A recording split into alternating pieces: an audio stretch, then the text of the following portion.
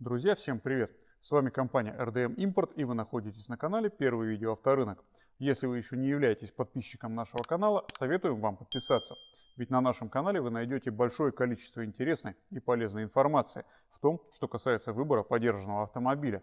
Причем не только в формате тест-драйвов, но и в формате обзоров технических, где мы детально разбираем особенности тех или иных моделей автомобилей, рассматривая их снизу, на подъемнике. В данный момент мы открываем очередную серию обзора, куда смотреть при покупке подержанного автомобиля. Герой нашего сегодняшнего обзора – это небольшой компактный автомобиль для города. Причем не очень сильно распространенный в нашем сибирском регионе. Однако, если вы ищете простой и неприхотливый автомобиль, вам следует обратить внимание именно на эту машину. Встречайте, Ford Fusion, первое поколение. Модель Fusion была представлена компанией Ford в 2002 году. Эта машина базируется на агрегатах малолитражки Ford Fiesta, однако по своим размерам Fusion побольше. Здесь также увеличен клиренс до весьма солидных для легковых автомобилей 163 мм, что более чем достаточно для эксплуатации в городе. Эта машина изначально задумывалась как простая и доступная. У этой модели было всего три варианта комплектации. От самого базового, где, условно говоря, не было ничего, до максималки с автоматической коробкой передач, которая уже могла предложить электрические стеклоподъемники и кондиционер. Кстати, кондиционер для этой модели всегда был опционален, поэтому не удивляйтесь, если вам попадется максимальная комплектация без этой полезной в жарких регионах опции. Что касается моторной гаммы Ford Fusion, на российский рынок эти машины поставляли всего с двумя вариантами моторов. Оба бензиновые объемом 1,4 литра 80 лошадиных сил и 1,6 литра 100 лошадиных сил. Моторы практически близнецы-братья. В том, что касается конструкции и ресурса. Коробки передач могли быть аж трех видов. Механическая, роботизированная механическая и полноценный гидромеханический автомат который вы могли купить только с мотором 1,6 литра.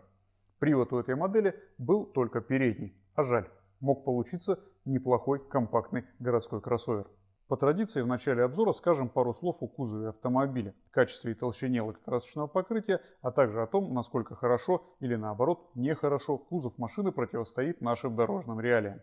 Толщина лакокрасочного покрытия у этих автомобилей довольно стандартная, 100-150 микрон. Что касается качества окраса, изначально оно было весьма неплохое. Однако самый молодой Fusion сошел с конвейера в 2012 году. Этим автомобилям уже минимум 9 лет, поэтому сколы и царапины на кузове, возникающие при эксплуатации, каждодневной эксплуатации автомобиля, здесь практически неизбежны. Однако цвести все эти украшения начинают далеко не сразу. И в принципе стоит отметить, что каких-либо глобальных проблем с коррозией у этого кузова в общем-то нет. Естественно, это не относится к автомобилям, так или иначе побывавшим в ДТП, которые пережили кузовной ремонт неизвестно какого качества. Поэтому при осмотре все же уделяйте внимание таким традиционным местам, как задние арки, кромки дверей, ну и в принципе пороги, днище автомобиля. Все это, конечно, нужно внимательно осматривать.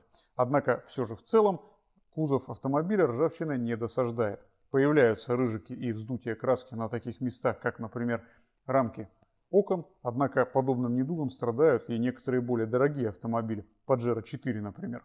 Так что для бюджетной малолитражки уже почтенного возраста это не бог весь какая проблема.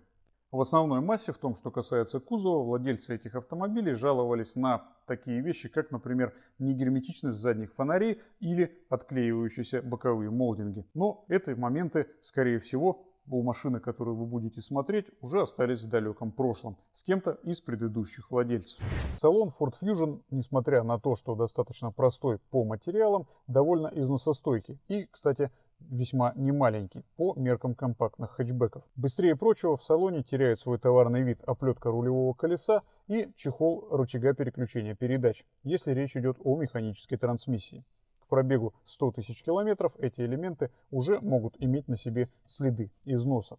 Однако остальной салон держится молодцом. Это касается как салонного пластика, так в принципе и тканевой обивки сидений. Что касается электрооборудования и каких-либо опций Ford Fusion, даже в максимальной комплектации автомобиль спартанский. Соответственно, ломаться здесь практически нечему. Но при осмотре подержанного экземпляра обращайте внимание на следующие моменты. Обязательно Проверьте работоспособность салонного отопителя, вернее вентилятора отопителя на максимальных скоростях.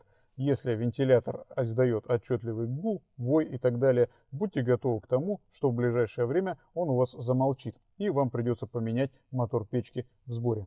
Также на возрастных автомобилях с большим пробегом бывает теряют герметичность трубки системы кондиционирования. Ну, конечно, при условии, что ваш Fusion эту опцию на борту имеет. Так что проверьте кондиционер на работоспособность. Также стоит проверить работоспособность электрического замка крышки багажника, если, конечно, ваша машина этой опцией оснащена. И проверьте задний стеклоочиститель. На автомобилях с большими пробегами он уже запросто может не работать. Можно сказать, что задний стеклоочиститель на Fusion это ну, своего рода слабое место. В остальном каких-либо вопросов к электрооборудованию нет, разве что владельцы склонны отмечать достаточно быстрый выход из строя ламп ближнего и дальнего света. Однако лампочки в фарах здесь обычные галогеновые, стоят они очень недорого, а меняются несложно. Что касается моторной гаммы Ford Fusion, на российский рынок поставлялись только бензиновые агрегаты объемом 1,4 литра мощностью 80 лошадиных сил и мотор объемом 1,6 литра мощностью 100 лошадиных сил. Первый, младший мотор, агрегатировался либо с механикой, либо с роботизированной коробкой передач. Второй, старший, либо с механической, либо, если речь шла о максимальной комплектации, с автоматической коробкой передач. По части надежности оба этих двигателя весьма хороши и при должном уходе способны выходить порядка 300-350 тысяч километров пробега. Единственное, мотор объемом 1,4 литра на 80 лошадок даже для небольшого фьюжена слабоват. Поэтому перед покупкой прокатитесь на такой машине и поймите, подойдет ли вам этот автомобиль. Разгон до 100 км в час у такой машины занимает свыше 15 секунд. Если говорить про двигатель 1.6, то здесь цифры следующие. 11 с копеечкой при разгоне до сотни на механической коробке передач и около 13 при разгоне до 100 км в час на автомате. И если вы смотрите автомобиль с обычным гидромеханическим автоматом, то двигатель у вас будет только такой. 1,6 литра 100 лошадиных сил. Что можно сказать про этот мотор? Это рядная четверка с алюминиевым блоком цилиндров. Очень простая по конструкции. Каких-либо усложняющих конструкцию деталей здесь просто нет. Привод ГРМ на двигателе 1,6 литра. По своей конструкции этот мотор обычная рядная четверка с алюминиевым блоком. Привод ГРМ здесь ременный. Регламент замены ремня производителя 160 тысяч километров пробега. Однако на практике это достаточно много и до таких отметок лучше не дотягивать. Меняйте ремень заблаговременно по достижении 100-120 тысяч во избежание обрыва. Если его оборвет, клапана на этом двигателе обычно загибает. Также на этих двигателях нет гидрокомпенсаторов зазоров клапанов. Раз в 100 тысяч километров по регламенту производителя нужно выполнять их регулировку. Основные моменты, которыми эти моторы могли «досаждать» в кавычках своим владельцам, относятся к системе охлаждения.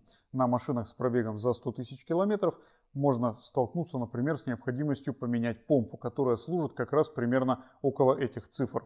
То же самое касается термостата. Если вы заметили, что ваш Fusion стал слишком долго прогреваться или наоборот склонен к повышению температуры двигателя, соответственно, возможно термостат уже свое отжил и вам придется его поменять. Также при покупке Fusion не лишне будет убедиться, что у вас не подтекает основной радиатор системы охлаждения, а также не имеет повреждений в виде растрескивания бачок системы охлаждения. Такие вещи не часто, но на фьюженах попадались. В общем-то, все эти вещи достаточно банальны. Такое может произойти на любом автомобиле и применительно к фьюжену происходят они не так часто. Агрегаты, как уже было сказано, весьма надежны. Пробег на практике, который выхаживают эти моторы, как правило, превышает 300-350 тысяч километров.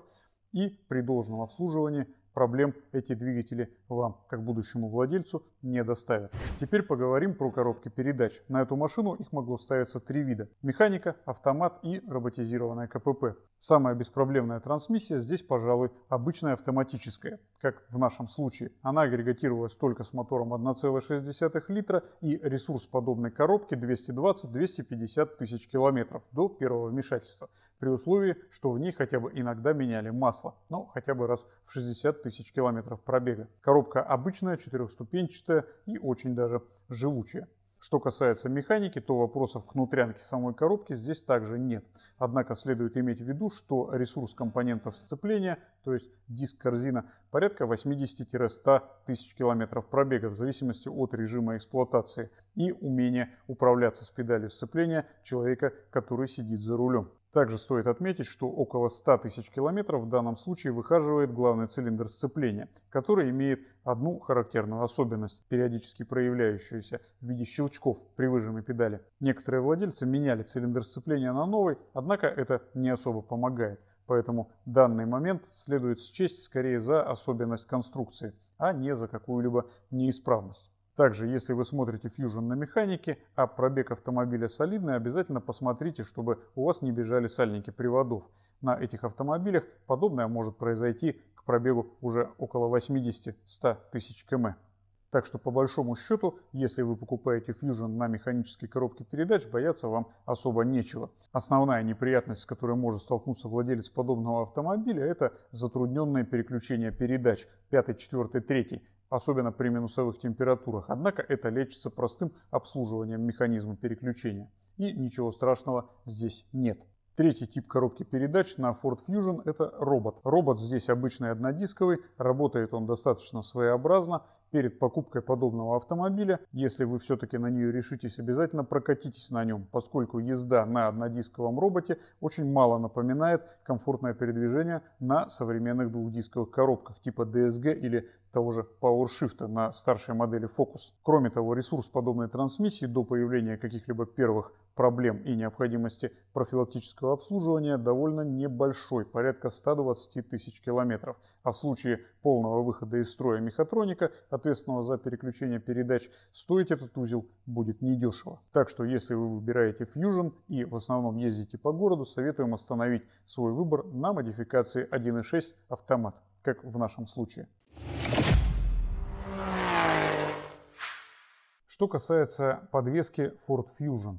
В данном случае она такая же простая, по сути, как и электрооборудование автомобиля. И в данном случае это хорошо. Спереди здесь традиционная для небольших автомобилей схема Макферсон, сзади у нас балка. Охарактеризовать подвеску Fusion можно как весьма и весьма крепкую для легковых автомобилей. И это его несомненный плюс. Ресурс практически всех компонентов здесь это 100 тысяч километров и даже более. Как водится, самый слабый компонент подвески в данном случае это стойки переднего стабилизатора. Причем в отличие от большинства аналогов на этом автомобиле малый ресурс стоек стабилизатора это около 70 тысяч километров пробега до замены. Достаточно небольшое количество автомобилей, где эти узлы выхаживают хотя бы 40 тысяч. В данном случае полтора раза больше. Что касается ресурса, например, рулевой рейки, как самого дорогого компонента подвески автомобиля, она выхаживает около 150 тысяч километров до появления первых течей. И это также очень и очень неплохая цифра. Кстати, при осмотре Fusion с пробегом за сотню обязательно обратите внимание на работу насоса гидроусилителя руля. На пробегах за 100 он уже начинает потихоньку подвывать. Так что Обратите внимание на его работоспособность, чтобы сразу после покупки не пришлось менять. Ресурс рычагов передней подвески на Fusion огромный по легковым меркам, порядка 200 тысяч километров пробега. Амортизаторы ходят меньше. Передние от 80 до 120, задние от 60 до 100 тысяч километров пробега в зависимости от того, на каких дорогах Fusion эксплуатировался. Рулевые тяги и наконечники это в среднем 80-100 тысяч, если говорить об оригинальных деталях ну а ступичные подшипники также от 80 тысяч километров. Помимо большого ресурса компонентов подвески, Ford Fusion может также похвастаться и небольшой ценой ее обслуживания. Так что в купе с высоким клиренсом 163 мм для легковой машины очень и очень неплохо. Это действительно неплохой выбор для тех, кто хочет ездить на машине, а не вкладывать в нее большие деньги. Итак, какие выводы можно сделать под все вышесказанное про Ford Fusion первого поколения? Стоит ли рассматривать подобную машину для покупки или нет?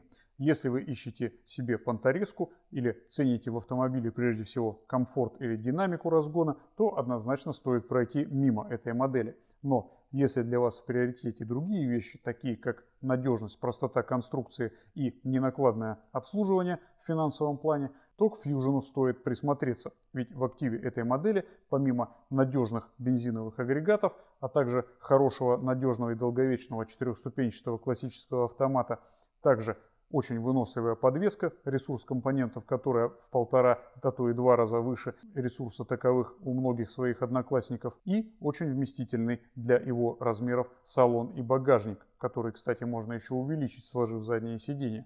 И в этом случае на своем Fusion е вы легко увезете бабушкин комод, причем не разбирая последний. А высокий по легковым меркам клиренс позволит вам чувствовать себя уверенно как при эксплуатации в городе, так и съезжать с дороги. Правда, делая поправку на то, что автомобиль у вас все же моноприводный. Ну вот и все на сегодня. Если наш обзор был вам чем-то полезен, понравился, ставьте лайки, подписывайтесь на наш канал. Пишите в комментариях, какие машины вы хотели бы видеть на нашем подъемнике в будущем. Также, если вы владели или владеете Ford Fusion и проехали на нем не одну сотню тысяч километров, вам есть чем поделиться или в чем нас поправить, пишите в комментариях людям, которые рассматривают подобный автомобиль себе к покупке, именно ваш комментарий может оказаться очень полезным. Спасибо за просмотр. Хорошего вам дня. Пока.